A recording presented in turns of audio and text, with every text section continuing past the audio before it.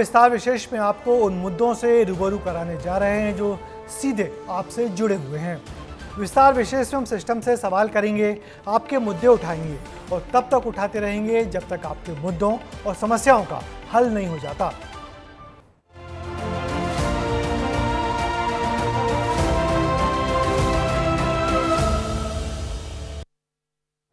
सीहोर में धड़ल्ले से रेत का अवैध कारोबार जारी है। रेत माफिया निर्मम तरीके से नर्मदा का सीना छलनी कर रहे हैं। कई ऐसे घाट हैं जहाँ दिन रात रेत माफिया की मशीनें नदी के बीच से रेत निकाल रही हैं, लेकिन खनिज विभाग की नज़र इन पर नहीं पड़ रही। सरेआम एनजीटी के निर्देशों की धज्जियाँ उड़ाई जा रही हैं। रेत के कार्य कारोबार को लेकर देखिए हमारी ये खास रिपोर्ट। दिन दहाड़े रेत का काला कारोबार, सरेआम नर्मदा के सीने पर प्रहार। माफिया के आगे प्रशासन क्यों लाचार? है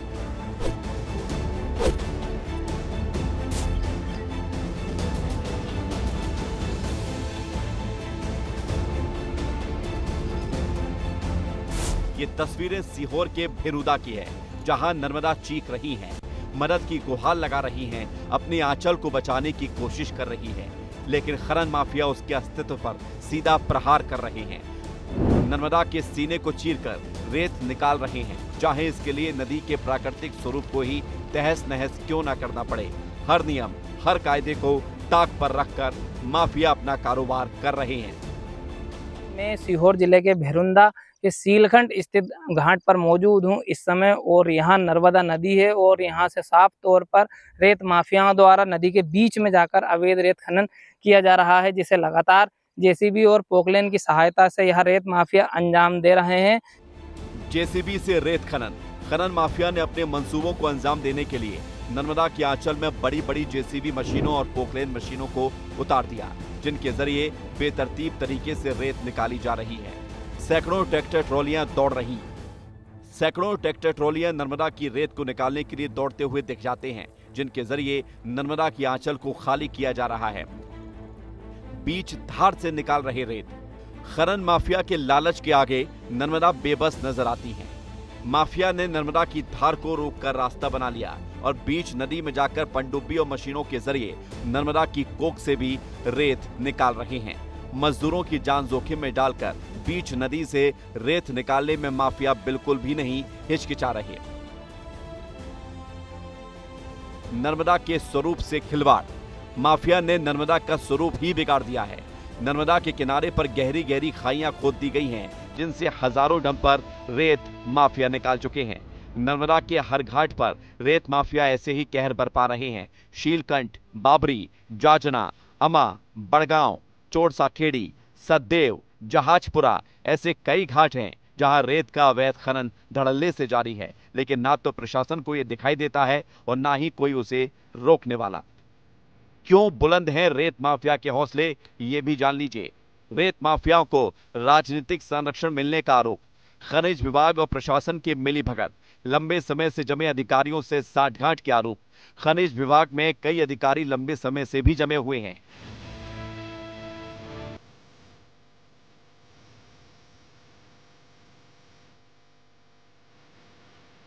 विस्तार न्यूज़ की टीम जब अधिकारियों के दफ्तर में पहुँची तो अधिकारी नदारत मिले और जब फ़ोन पर बात करने की कोशिश की गई तो यहाँ भी उन्होंने संपर्क करना ज़रूरी नहीं समझा। अवैध रेत खनन और अवैध रेत के स्टॉक को लेकर जब हम जिम्मेदारों के पास उनका पक्ष जानने के लिए पहुँचे तो वह दफ्तर में नहीं मिले। मैं इस समय भेरुंदा के एसडीएम कार्यालय के बाहर हूँ, जहाँ एम एस रघुवंशी जो एसडीएम भेरुंदा है, वह उनके दफ्तर में नहीं है और समय लगभग पौने ग्यारह बजे का हो चुका है।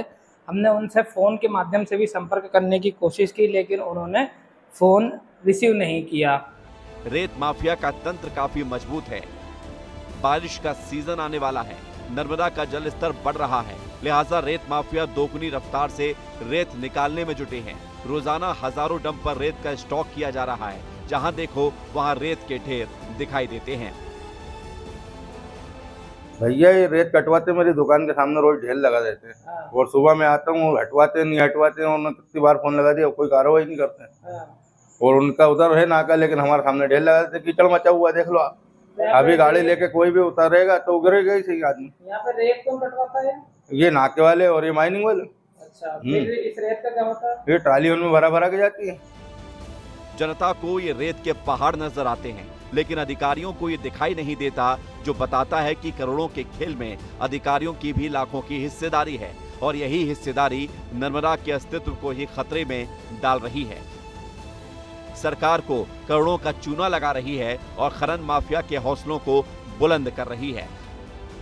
अब देखना यह होगा कि सरकार कैसे इन काले कारोबार पर लगाम लगाती है और कैसे नर्मदा के अस्तित्व को बचाती है। क्योंकि नर्मदा को बचाना है तो उसे रेत माफिया के चंगुल से मुक्त कराना बेहद ज़रूरी है। सालों से कई होमगार्ड, जिन्हें नगर सैनिक भी कहा जाता है, उनको बतौर सैनिक के तौर पर रख रखा है, जिनका नियम हर साल में बदलने का रहता है, लेकिन सालों से वही नगर सैनिक उस विभाग में कब्जा जमाए हुए बैठे हैं। सूत्रों के द्वारा ऐसा भी बताया जाता है कि उन्हीं नगर सैनिकों के कई डंपर और ट्रैक्टर, ट्राली चलते हैं, जिनसे लगातार रेत का अवैध परिवहन और परिवहन किया जाता है और लगातार एक मोटी कमाई की जाती है। देखना होगा आज विस्तार न्यूज़ की यह ग्राउंड ज़ीरो के बाद प्रशासन की कितनी आँखें खुल पाती है। कैमरामैन संतोष के साथ अक्षय शर्मा, विस्तार न्यूज़। तो देखा आपने कैसे पवित्र नर्मदा नदी के अस्तित्व से खिलवाड़ किया जा रहा है। अब सवाल उठता है कि आखिर खनिज विभाग समेत पूरा सरकारी महकमा क्यों मूक दर्शक बना हुआ है? जबकि रेत माफिया नर्मदा नदी के स्वरूप और सरकार को करोड़ों रुपए के राजस्व का नुकसान रोज पहुँचा रहे हैं। इधर ग्वालियर में भी खनन माफिया के हौसले बेहद बुलंद हैं। माइनिंग एरिया शताब्दीपुरम में बड़ी बड़ी खदानें अवैध तरीके से खोद दी गई हैं, लेकिन शासन प्रशासन इनके आगे बेबस नज़र आ रहा है। कार्रवाई के नाम पर सिर्फ़ नोटिस जारी होते हैं लेकिन अधिकारी माफिया के मुताबिक रिपोर्ट पेश कर इस मामले का रफा दफ़ा कर देते हैं। देखिए ये रिपोर्ट।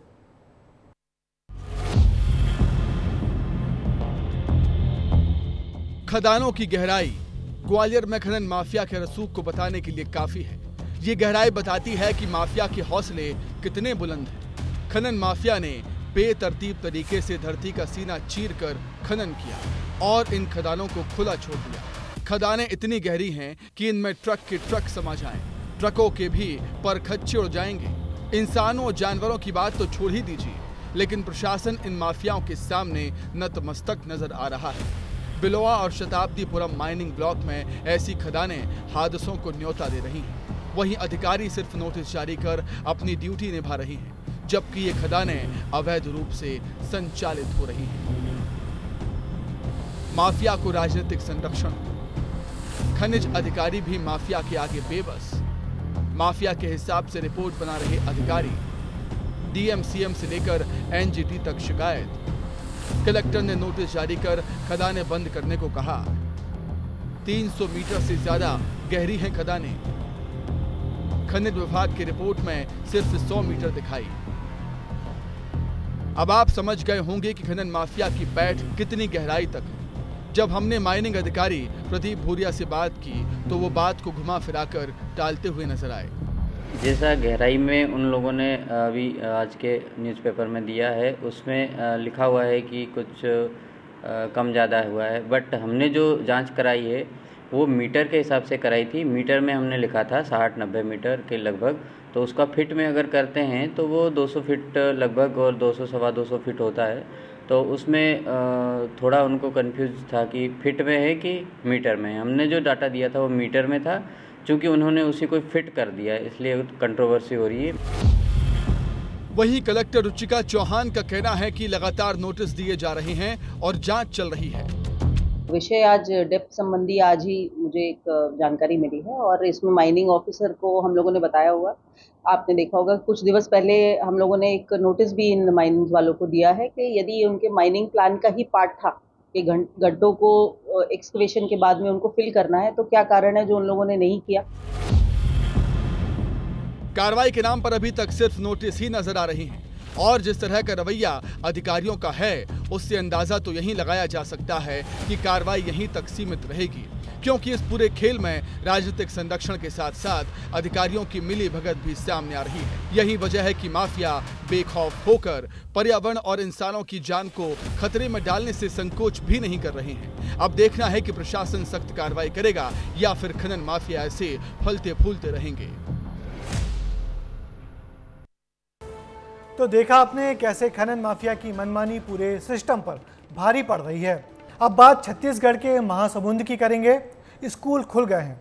ज़ोर शोर से शाला उत्सव भी मनाया गया। लेकिन यहाँ कई स्कूल ऐसे हैं जिनकी छत ही नहीं है। तो बिना छत के स्कूलों में बच्चे आखिर पढ़ाई कैसे करेंगे? देखिए ये रिपोर्ट। स्कूलों की छत अभी तक नहीं बन पाई। आखिर कैसे कर पाएँगे बच्चे पढ़ाई? ये बच्चे महासमुंद के मुरमुरी गाँव के हैं। स्कूल शुरू हुए तो इन्हें पढ़ने के लिए जगह ही नहीं मिली और मजबूरी में इन्हें घर के बरामदे में बैठाकर पढ़ाया जा रहा है, क्योंकि गाँव के स्कूल में छत ही नहीं है।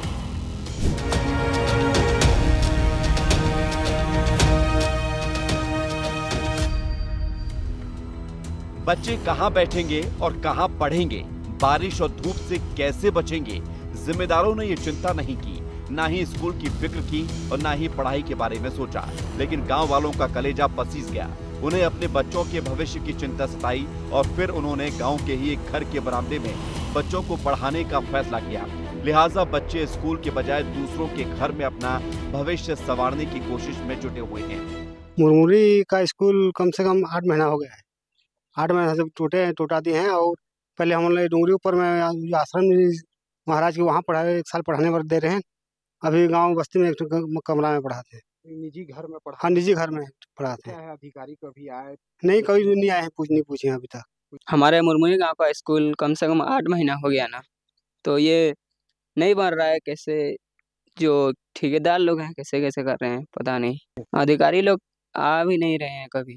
ठेकेदार काम अभी चालू नहीं किए हैं क्या? ठेकेदार ठेका लिया है लेकिन काम चालू नहीं कर रहे हैं। बच्चे मजबूर हैं लेकिन प्रशासन मजबूर नहीं। बल्कि लापरवाह नज़र आ रहा है, क्योंकि ये अचानक नहीं हुआ है। अब तक क्यों नहीं बनी छत? ये भी अपने आप में एक बड़ा सवाल है। सात से आठ महीने पहले ही टूट चुकी थी छत। पानी टपकने के कारण छत को तोड़ा गया। नई छत डालने के लिए ठेका भी दिया गया। पूरी गर्मी निकल गई, छत नहीं बन पाई। स्कूल खुल गए, काम शुरू नहीं हुआ। अकेले मुरमुरी गाँव के बच्चे ही परेशान नहीं हैं। बंदली बाल में भी तस्वीरें कुछ ऐसी ही हैं। यहाँ साल भर पहले ठेकेदार ने छत को तोड़ा, लेकिन उसकी मरम्मत के लिए दोबारा मुनकर नहीं देखा और मिडिल स्कूल के बच्चे प्राइमरी स्कूल में बैठकर पढ़ने को मजबूर हैं। अभी वैकल्पिक व्यवस्था के लिए जहाँ पर बिल्डिंग बिल्कुल नहीं है, वहाँ पर गाँव, ग्राम स्तर में सामुदायिक भवन और अन्य शासकीय भवनों का उपयोग किया जा रहा है और मुरमुरी में जैसे है, वहाँ पर गाँव के एक पर्ची में उसका वैकल्पिक व्यवस्था किए हैं बच्चों को पढ़ाने के लिए और वहाँ मुरमुरी काम आज से स्टार्ट हो जाएगा। ये तो बदहाल होती शिक्षा की महज कुछ तस्वीरें हैं, जिन्हें देखकर आप अंदाज़ा लगा सकते हैं कि महासमुंद ज़िले में शासन प्रशासन बच्चों की पढ़ाई के लिए कितना संजीदा है। और कुछ आंकड़े भी देख लीजिए कि आखिर ऐसे कितने स्कूल हैं जहाँ बच्चे बैठकर पढ़ाई भी नहीं कर सकते। बदहाल स्कूल प्रशासन गया भूल 518 सरकारी स्कूलों में मरम्मत का काम। 45 करोड़ बावन लाख छियानवे हज़ार रुपए जारी। 333 स्कूलों का काम ही पूरा हुआ। एक स्कूलों में अभी भी चल रहा काम। अब सवाल सिर्फ़ इतना ही है कि जब काम चालू कराए तो अधिकारियों ने ये देखने की जहमत क्यों नहीं उठाई कि काम हो रहा है या नहीं? उन्होंने ये क्यों नहीं सोचा कि बिना स्कूलों के बच्चे कहाँ पढ़ेंगे? बारिश के दिनों में कहाँ बैठेंगे? या फिर ऐसे ही किसी के रहमो करम पर अपना भविष्य संवारने की कोशिश करते रहेंगे? सवाल कई हैं, लेकिन जवाब यही है कि अधिकारी नौनिहालों के भविष्य को लेकर संजीदा नहीं है और ये जवाब खुद बदहाल स्कूलों की तस्वीरें देती हैं। विस्तार न्यूज़ के लिए जशांक नायक की रिपोर्ट। मध्य प्रदेश के बड़वानी में शिक्षा की हालत और भी बदतर है। यहाँ पढ़ने वाले छात्र हैं और पढ़ाने वाले शिक्षक भी हैं, लेकिन पढ़ने के लिए कोई इमारत ही नहीं है। हालात ये है कि बच्चे झोपड़ी में बैठकर पढ़ने को मजबूर हैं। क्या मासूमों को सरकार गई भूल? बरसों से झोपड़ी में चल रहा स्कूल।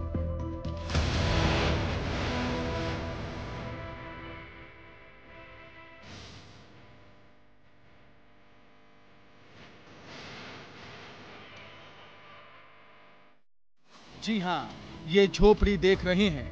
ये ना तो घर है, ना ही किसी का ठिकाना, बल्कि ये है मध्य प्रदेश का सरकारी स्कूल। चौंक गए ना? लेकिन हकीकत यही है। यहीं पर 25 से 30 बच्चे अपने भविष्य को रोशन करने का सपना लेकर आते हैं। मध्य प्रदेश के बड़वानी ज़िले का सबसे पिछड़ा इलाका। कहा जाता है कि यहाँ पर सबसे पिछड़ापन है। यहाँ के लोग विकसित नहीं हैं, विकास नहीं कर पाते हैं, शिक्षा से दूर हैं। तमाम ऐसी व्यवस्थाओं से दूर हैं जो आधुनिक दौर के हिसाब से चल रही हो। उसी तस्वीर को समझने और जानने के लिए हम पहुँचे हैं बड़वानी ज़िले के पानसेमल के वन ग्राम खाम घाट में। खाम घाट की ये तस्वीर, ज़रा इस तस्वीर और गाँव को दिखाइए। ये खाम घाट वो गाँव हैं जहाँ पर सड़क नहीं है, शिक्षा नहीं है। रोड ना होने के कारण जो स्वास्थ्य सुविधाएँ हैं वो गाँव को नहीं मिल पाती है। ना छत है, ना दीवार है, और ना ही शिक्षा को बेहतर करने वाला कोई साजो सामान है। बस चार लकड़ियों के सहारे खड़ी ये झोपड़ी ही बड़वानी के आदिवासी अंचल में पहाड़ी पर बसे खाम घाट के बच्चों की किस्मत सवार रही। है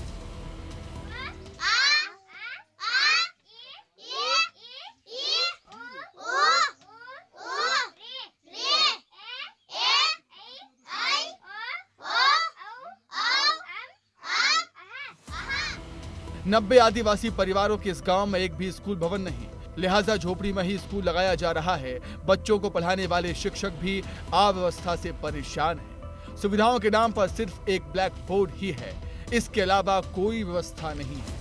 कई बार अधिकारियों तक बात पहुंचाई गई, लेकिन कोई सुनवाई नहीं हुई। वहीं बच्चे भी चाहते हैं कि उनका स्कूल भी स्कूल की तरह तो हो। ज्वाइनिंग ली है। फिर वह बच्चों को मतलब फिर साल भर तक हमने पढ़ाया। अभी ये दूसरा साल हमारा चल रहा है। और यहाँ की व्यवस्थाएँ जो बच्चों के जो सामग्री रहती है वो व्यवस्थित नहीं रह पाती है। कुछ नई चीज़ें लाते हैं तो साल भर चल नहीं पाती है। रखने के लिए मतलब व्यवस्था ही नहीं है कुछ भी तो यहाँ हम खुला छोड़ नहीं सकते हैं। दूसरी? दूसरी में हो? हाँ। अभी क्या पढ़ा रहे थे आप? नाराम अनाराम पढ़ा रहे थे। रोज आते हो स्कूल? हाँ। रोज आते हो? हाँ। हम्म। चलिए हम और भी बच्चों से बातचीत करेंगे। बेटा क्या नाम है आपका? आरती। आरती कौन सी क्लास में हो? दूसरी। दूसरी में हो? क्या पढ़ रहे थे अभी? नाराम अनाराम। रोज़ाना आते हो स्कूल? गाँव वाले परेशान हैं उन्हें अपने बच्चों की चिंता है लेकिन निवेदन आवेदन और धरना प्रदर्शन के बाद कोई सुनवाई नहीं होती। ग्रामीण कहते हैं कि परेशानी केवल इतनी ही नहीं है गाँव के लिए सड़क भी नहीं है। जब बारिश होती है तो स्कूल ही नहीं लग पाता क्योंकि शिक्षक का गाँव आना नहीं हो पाता। स्कूल के बारे में समस्या बहुत है। तीस पैंतीस बच्चे हमारा पढ़े स्कूल में। और मास्टर लोग ने वो ज़्यादा पानी में बारिश हो जाता है तो तीन चार किलोमीटर पैदल आते बेचारा अच्छा। बच्चा पढ़ाने के लिए। और बच्चा भी दो किलो ढाई किलोमीटर बच्चा भी पैदल आते अच्छा। और छोटा छोटा नाला है। और नाला आ जाता है तो फिर वो बच्चा बैठ जाता है उसको बहुत परेशानी आती है। पाँच बरस का लंबा वक्त। मुश्किल हालातों में बच्चे पढ़ने को मजबूर हैं लेकिन जब हमने अधिकारियों से बात की तो जवाब में सिर्फ़ मिला है आश्वासन। खामघाट फलिया जो है वो 2014-15 में युक्ति उपकरणशाला जो है उसमें सैंक्शन हुआ था। तो उसके बाद से लेकर के अभी तक उसके भवन के लिए हम लोग जो है वो प्रयासरत हैं ए जो हमारा बनता है वार्षिक कार्य योजना में, प्रति वर्ष हम उसको जो है प्रस्तावित कर रहे हैं। जैसे ही ए सैंक्शन होगा भवन निर्माण के लिए, स्वीकृति उपरांत ही हम वहाँ पे निर्माण कार्य करा देंगे। झोपड़ी में स्कूल, ये तस्वीर ही काफ़ी है, जो खुद पूरे सिस्टम पर सवाल उठाती है। शिक्षा को लेकर किए जा रहे दावों की हकीकत बताती है। आखिर इन आदिवासी बच्चों का कसूर क्या है, जो इन्हें एक झोपड़ी में बैठकर पढ़ाई करनी पड़ रही है। क्या इन्हें बेहतर शिक्षा का अधिकार नहीं है? क्या ये भी अच्छे स्कूल में बैठकर पढ़ाई नहीं कर सकते? ऐसे कई सवाल हैं और जवाब जिम्मेदारों को ज़रूर देना होगा। तो ये एक तस्वीर मध्य प्रदेश के आदिवासी इलाकों में अमूमन ऐसी 11 झोपड़ियाँ बनी हुई है, जिनमें सरकारी स्कूल बने हुए हैं, झोपड़ियों में पढ़ाया जा रहा है। हम प्रवेश उत्सव मना रहे हैं। हम रिसीएम राइज स्कूल का निर्माण कर रहे हैं, लेकिन क्या हम वो गाँव तक पहुँच पाते हैं? क्या वो गाँव के बच्चों तक हम पहुँच पाते हैं जिनका जो शिक्षा से अभी तक दूर है? विस्तार न्यूज़ के लिए नजमुद्दीन शेख के साथ ज़फ़र अशरफी पड़वानी। और अब बात छत्तीसगढ़ की एक ऐसी पंचायत की करेंगे जिसकी पहचान ही भ्रष्टाचार से होने लगी है। यहाँ कोई काम ऐसा नहीं है जो भ्रष्टाचार की भेंट न चढ़ा हो। कागजों में तो हर काम हुआ है। लेकिन जनता आज भी सुविधाओं के लिए तरस रही है। देखिए बलरामपुर की ग्राम पंचायत लहसुन पाठ का हाल।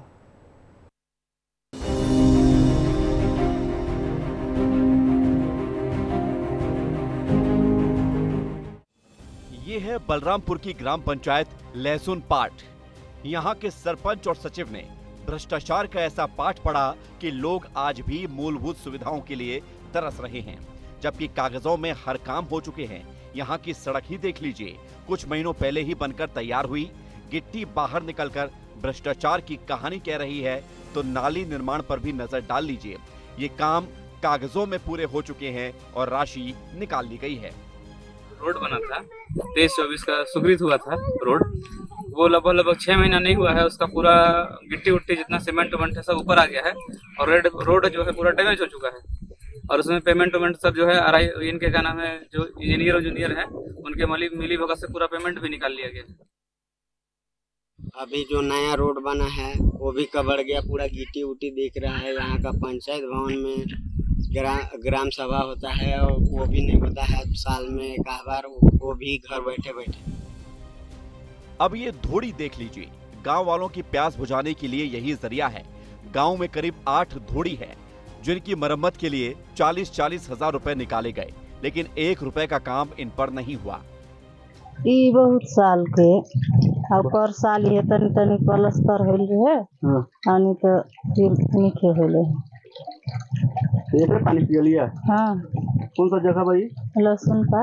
लहसुन पाठ हर योजना में भ्रष्टाचार है।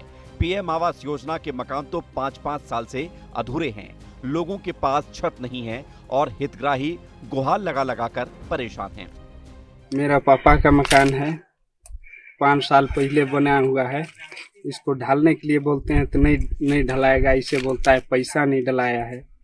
जब भी बोलते हैं ढालो ढालो तो पैसा नहीं डलाया है। पुलिया के भी बड़ी परेशानी है और शौचालय की भी बड़ी पानी परेशानी है। और जैसा का आवास भी नहीं मिला है और रोड भी बहुत खराब है। रास्ता उस्ता के उसी लिए नहीं बताया रोड खराब है मैं बोला नाली टेढ़ भा कुछ बना है नाली सीधा से नहीं बना है। ये तो सिर्फ़ भ्रष्टाचार की बानगी है। अब ये बिल देख लीजिए। सरपंच और सचिव ने फोटोकॉपी मशीन समेत बाकी सामग्री के नाम पर रुपए निकाल लिए। लेकिन आज तक मशीनें और बाकी सामान पंचायत पहुँची ही नहीं। विस्तार न्यूज़ ने जब भ्रष्टाचार का मामला अधिकारियों तक पहुँचाया तो अब जाँच की बात कही जा रही है। अभी आपके माध्यम से हमारे संज्ञान में लाया गया है कि इस प्रकार की चीज़ें वहाँ पे हुई है। बिना जाँच के कुछ भी टिप्पणी कर पाना जो है वो ठीक नहीं रहेगा। हम इसके लिए एक जाँच टीम गठित करके वहाँ पे जाँच करवा लेंगे। जाँच गठित कर रहे हैं। जाँच के पश्चात जो भी आएगा उसके हिसाब से आवश्यक कार्रवाई की जाएगी। लहसुन पाठ में सरपंच और सचिव की मनमानी सरकार की मंशा और ग्रामीणों की उम्मीदों पर पानी फिर रही है। जिम्मेदार मलाई काट रहे हैं। और जनता मूलभूत सुविधाओं के लिए तरस रही है। अब सवाल ये उठता है कि क्या प्रशासन के अधिकारी कार्रवाई करेंगे या फिर भ्रष्टाचार का ये खेल यूँ ही बदस्तूर जारी रहेगा? विस्तार न्यूज़ के लिए नंदराम कुशवाहा की रिपोर्ट। तो हमने आपको आपसे जुड़ी हुई खबरें दिखाई, आपके मुद्दे उठाए। आगे भी हमारी कोशिश रहेगी कि विस्तार विशेष में आपके मुद्दों, आपकी खबरों को हम प्रमुखता से जगह दें। मुझे दीजिए इजाज़त। आपसे होगी मुलाकात। आपकी खबरों के साथ। नमस्कार।